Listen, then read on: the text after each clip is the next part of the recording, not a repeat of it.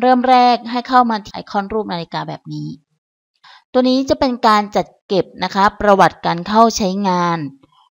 ในส่วนของเมนูต่างๆ บนโปรแกรม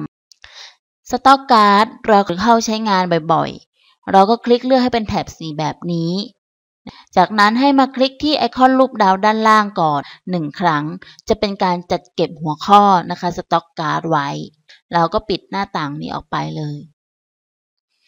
เมื่อเข้าใช้งานโปรแกรมครั้งต่อไป เราจะเรียกในส่วนของรายงาน Stock Card เราก็ไม่ต้องไปที่เมนูรายงานแล้ว ให้มุ่งตรงมาที่ไอคอนรูปดาวเลย คลิกไปหนึ่งครั้ง จะเห็นในส่วนของหัวข้อที่เราจัดเก็บไว้เห็นไหมคะ สินค้าและวัตถุดิบ Stock Card แล้วก็แค่ใช้วิธีการ double click เข้าไป เท่านี้ก็จะเป็นการเข้าถึงรายงานสต็อกการ์ดตัวนี้ได้รวดเร็วและสะดวกมากยิ่งขึ้นกว่าเดิมแล้ว นะคะ